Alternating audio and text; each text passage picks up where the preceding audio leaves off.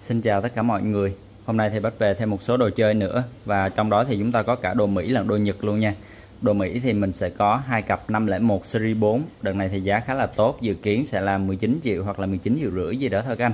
Và hiện tại thì họ đang giao tới thêm cho Bách uh, mấy cặp 301 series 4 nữa. Đợt này thì không có nhiều chắc khoảng 6-7 cặp gì đó thôi.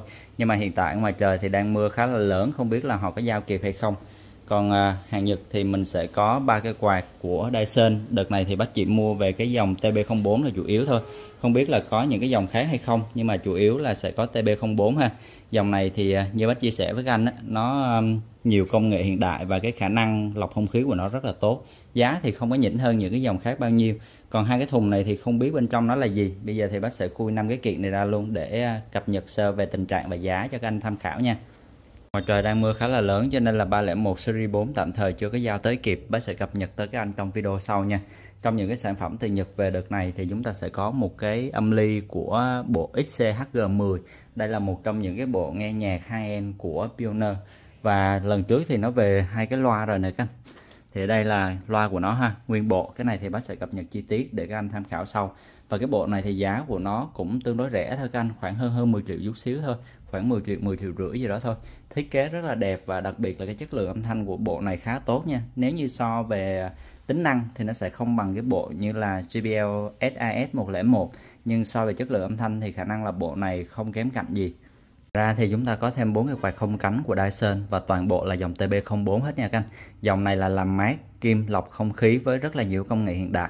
Và đặc biệt thì trong đó Bách có mua được một cây là hàng trưng bày.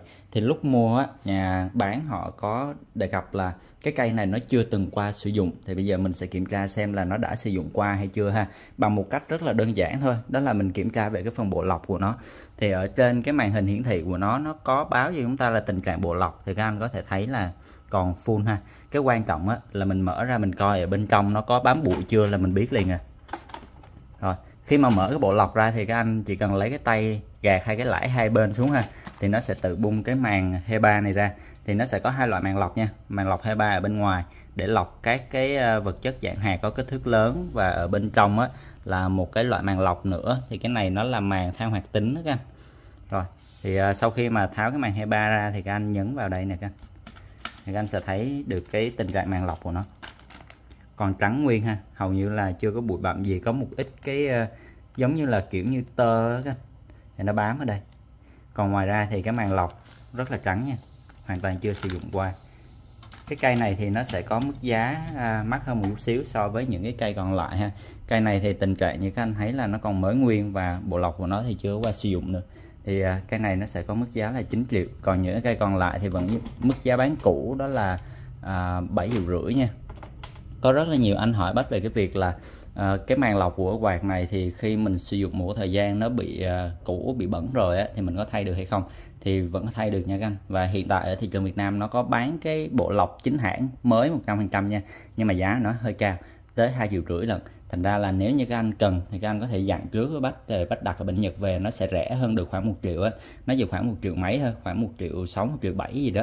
Thì à, nó sẽ có cái mức giá rẻ hơn và mình sử dụng mà tiết kiệm được khá là nhiều chi phí đó các anh. Đó, thành ra là cái cây quạt này nó mắc hơn là đương nhiên ha tại vì bản thân nó là một cái bộ lọc mới.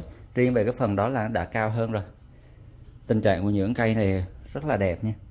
Đợt này thì mình sẽ có một cây à, màu xanh xám đó. nếu như mà anh nào thích cái gam màu nó trầm lắng hơn chút xíu thì chúng ta có thể sử dụng cái cây này. Còn không thì mình sử dụng cái gam màu trắng nhìn cho nó thanh thoát hơn ha. Rồi ba cây còn lại. Cây nào cũng có uh, cái adapter zin và remote zin đầy đủ hết nha. Cây nào cũng có đầy đủ phụ kiện kèm theo. Và những cái này thì mình sử dụng trực tiếp điện 2.2 luôn không có cần phải sử dụng qua cái cục đổi nguồn nha các anh. Cái này rất là tiện. Rồi ngoài ra thì ờ, chúng ta sẽ có thêm một cái bộ à, Series 2 dòng này thì rất là quen thuộc rồi cho nên là chúng ta cho qua để đỡ mất thời gian. Còn à, mấy cái cặp này thì chắc là nó khá là bự và bây giờ không gian nó khá hẹp cho nên là trong video sau thì bác sẽ quay riêng về hai cái cặp này để các anh ngắm nhìn cho nó chi tiết hơn ha. Chứ bây giờ nó hẹp quá thì mình cũng không có quan sát được. Rồi cập nhật sơ như vậy thì nếu như các anh có thêm những cái thắc mắc hay là nhu cầu gì á thì các anh vui lòng liên hệ trực tiếp dùm bách qua số điện thoại ở trên tiêu đề của video nha. Xin cảm ơn và hẹn gặp lại các anh trong cái video lần sau ạ.